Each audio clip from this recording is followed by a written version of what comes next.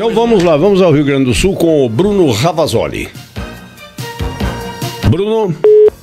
Ih, caiu ali, caiu. Mas justamente na hora que ele ia falar do voto da presidente Dilma Rousseff, está lá acompanhando, está lá de perto, talvez muita confusão em torno do Bruno Ravazoli. Agora ela deve falar, né? Ela voltou agora há pouquinho, a gente registrou e deve dar uma entrevista coletiva. E aí, Bruno, muita confusão aí para registrar o voto da presidente Dilma? Total confusão, aparentemente, né? Pelo número de jornalistas. É, Olha, essa é uma das horas mais tensas e, e por uma bobagem da vida de um jornalista. Para nós, por exemplo, em rádio, você não pode colocar no ar a entrevista do sujeito. Nem ao vivo, nem gravada. Gravada, se colocar, vai colocar daqui a algum tempo.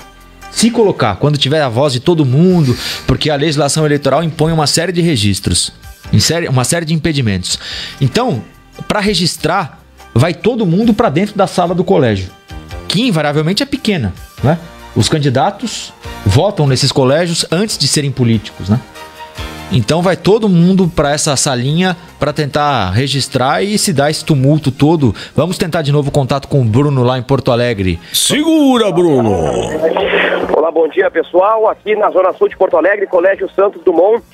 Há aproximadamente dois minutos, a presidente candidata à reeleição Dilma Rousseff fez o seu voto por aqui. Ele entrou por um local lateral, driblando a imprensa tirou algumas fotos com os mesários e também com alguns militantes do Partido dos Trabalhadores, fez o seu voto e posou ao lado do candidato a Senado Olívio Dutra e também ao candidato de reeleição para o estado do Rio Grande do Sul, o governador Tarso Genro. Tirou algumas fotos, foi um voto muito rápido por aqui. A sala estava separada exclusivamente para a presidente. Ela não passou entre os populares, não passou entre os militantes do PT que estavam ansiosos pela presença da presidente Dilma Rousseff, que entrou por uma entrada lateral, saiu pela mesma entrada, ou seja, não foi vista pela imprensa.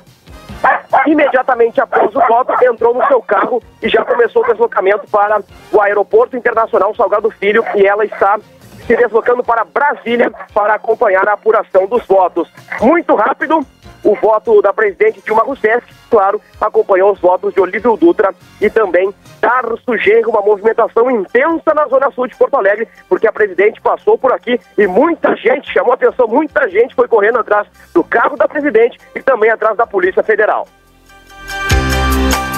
São 8 horas e 56 minutos. Obrigado, Bruno Ravazoli, direto de Porto Alegre, acompanhando a presidente da República.